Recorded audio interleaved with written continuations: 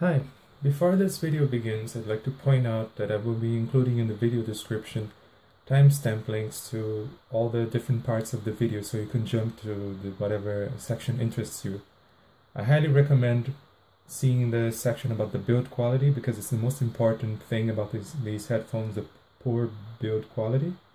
So check that out at least. And I will also be including more details about my testing methods and any other relevant details that I forgot to include during the review. Okay, thanks. So let's start the unboxing.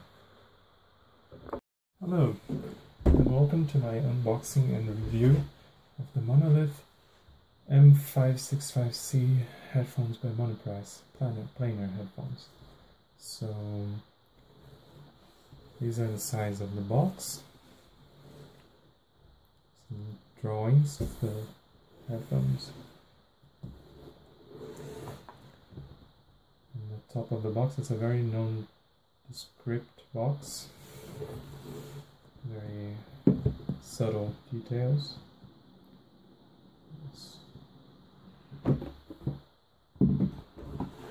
Inside we have a carrying case. Let's open that.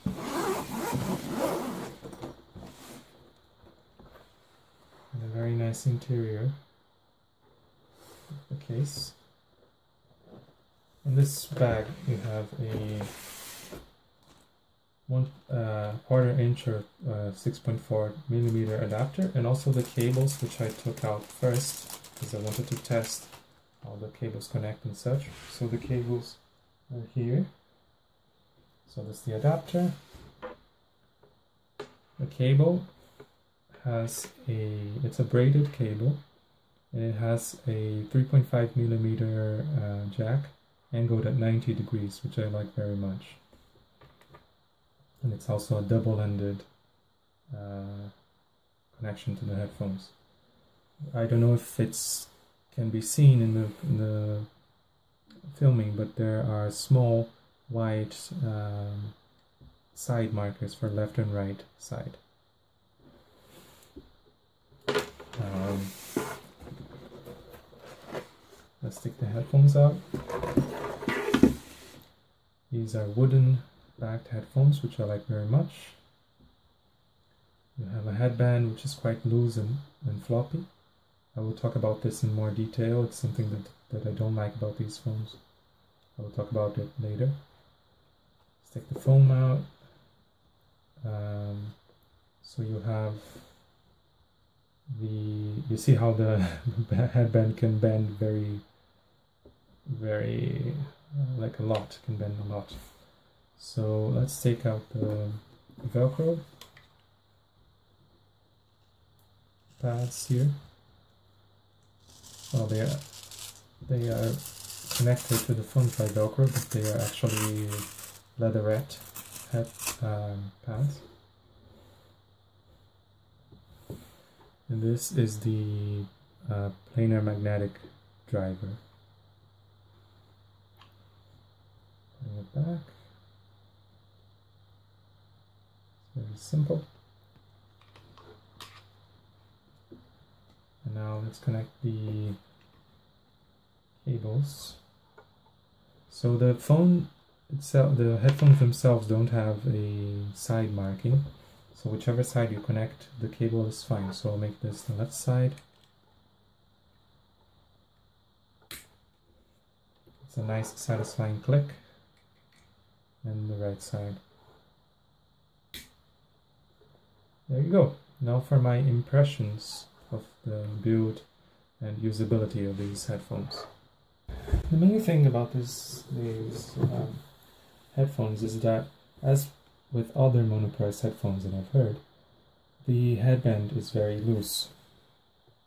So this creates some issues when you need to switch headphones quickly. For example, switch to another pair of headphones to test, what I have been doing with my Beyerdynamic DT770 Pro headphones.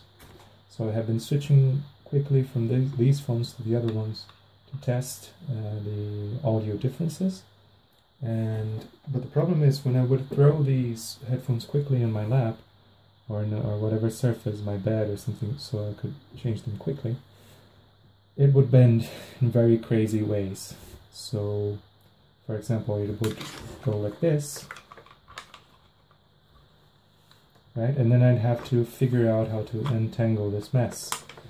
It's like a puzzle every time. So, okay, so I'm doing this. Oh, now the the um, drivers here are the other the, uh, the other way around. So I have to twist them around.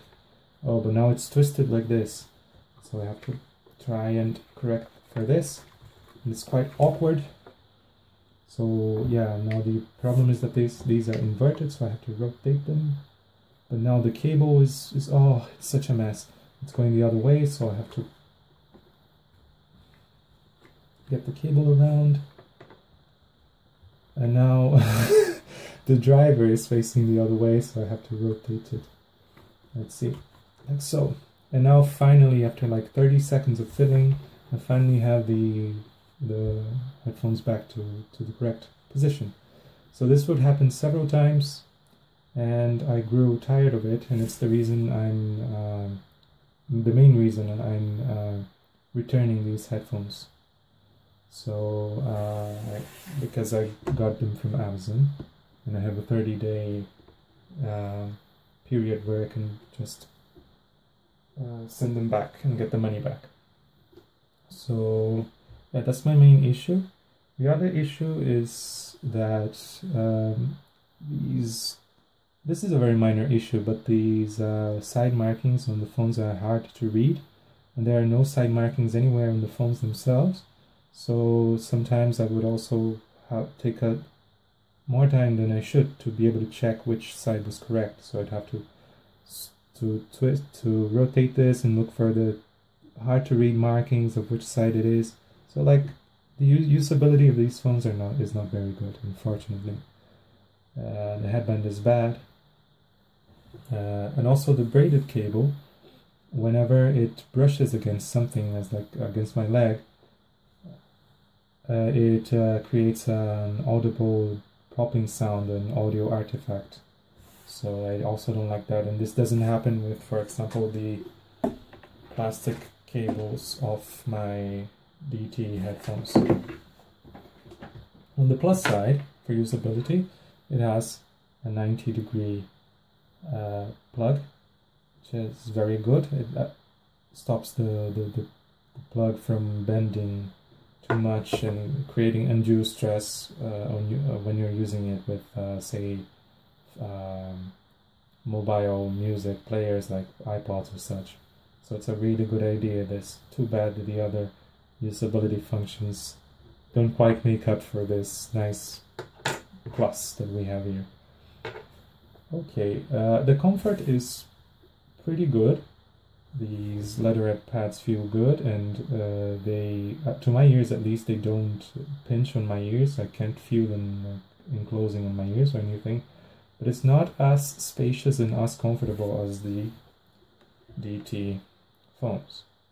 So again, uh, these feel like they circle my, my ears even more. Even though these have more clamping pressure, they are still more comfortable than these um, things. So, uh, but this is this has good comfort. It's not an issue. It's just that com comparatively speaking, these are even better. So, yeah, it's a good comfort. Uh, now for the sound comparison. The way I tested the sound of this, these phones is that I uh, quickly switched between this, for these phones, and my Beyerdynamic DT770 Pro headphones to compare the differences. Uh, I don't believe in, in reviewing sound in isolation. I don't trust people's um, sonic memory, not my own either. So I always think you should compare it to something else to better notice the differences. Now, in the highs and mids, there's not much difference between these phones, but uh, I noticed some quite dramatic tonal differences, like timbre differences between in the percussion and lows between these two phones. So some uh, drums, for example, can sound quite dramatically different between these two. none of them is better. Like they're just different. It's like comparing red to orange and saying that one is better than the other. Not really. They're just different. Both are good. They both have great bass, the kind of bass that makes your head rattle a little. You know, the kind of bass that everyone everyone loves. That you can feel it. So I love the bass in both. Um, and no, I'm not a bass head by any means, but I just uh, enjoy some good bass, exciting bass, right? Um, so, but the, the main thing that this one lacks, that the, the DT has, is the, the soundstage. So the soundstage on these phones is, is very like small. Uh, the sounds are cramped. You, there's not much separation between the the instruments, and this sometimes hides some details in the music. Whereas these phones have very wide soundstage, which is surprising for for closed headphones. They have comparable soundstage to, to my HD 650 headphones, uh, which are open headphones, so that's quite admirable that a closed headphone has a nice soundstage as well. So I just think the music can breathe more and, and the details are more easily heard in the, these phones um, than the monoprice phones. And I like having this instruments well separated in general. It makes the music breathe more. So yeah, I much prefer the sound of the DT um, solely for the reason that the soundstage is much better. Um, but otherwise, the, the sound is pretty good. If you like, and uh, one man's trash is another's treasure. So my my feeling that these are, have a cramped sound can be I don't know intimate and uh, inviting for for some other for someone else. So yeah, um, to my preference, these are not what I would choose to hear to to, to listen uh, to use to listen to music most of the time. But yeah, they have good sound, I would say. One thing I forgot to mention, and I'm not sure if it's because of the soundstage or not, or if it's because there's actually a significant difference in the uh, mids between these phones. But the in some songs, the vocals on the M656C can sound quite um, not muffled, more like. Um, ethereal, I would say, like they're coming from a distant, so more distant than the uh, vocals on the DT. So I'm not sure why exactly that happens, and it doesn't happen with all songs, just a few, but it's uh, it's quite noticeable when it does. So, and I'd also like to clarify that I'm doing I was doing the tests not through my laptop, which has pretty crappy sound output but from my uh, FiiO K1 DAC. So it's a really good DAC despite its price and size. Uh, and it's, yeah, so the sound is pretty much perfect coming from these. In conclusion, I'm going to return these monoprice headphones for the reason that their headband is crap. Get tangles, gets tangled easily, and I have to solve how to to untangle these every, time it happens. Um, the the they are more expensive than the DTs. These are 160 pounds right now, and these are 100 pounds. Uh, and they don't offer anything, any real advantage over the DTs. In fact, their sound is worse because of the lack of soundstage. So the only real advantage I would say are the 90 degree connector, which is nice, but it's not mandatory. Like it's not something that really uh, defines the purchase for me. And also the looks, I think the head cups here look a lot better than the DTs, more more posh, more uh, elegant. But looks, the looks don't make up for the other faults that these headphones have. So yes, I will be returning them to Amazon for a refund and keeping my DTs. So that's it. Thank you very much.